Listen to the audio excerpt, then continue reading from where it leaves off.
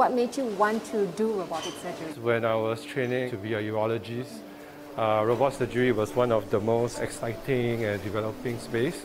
I can uh, show you around. This is the console. Basically, it's like the flight deck where I use my hands to be able to control the controllers to maneuver the instruments in various directions, uh, in and out, up and down, twist, rotation motion, and even move like a wrist.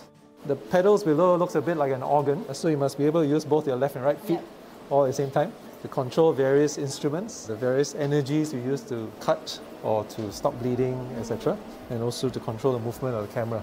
You're able to have stereoscopic vision or binocular vision, so you have depth perception.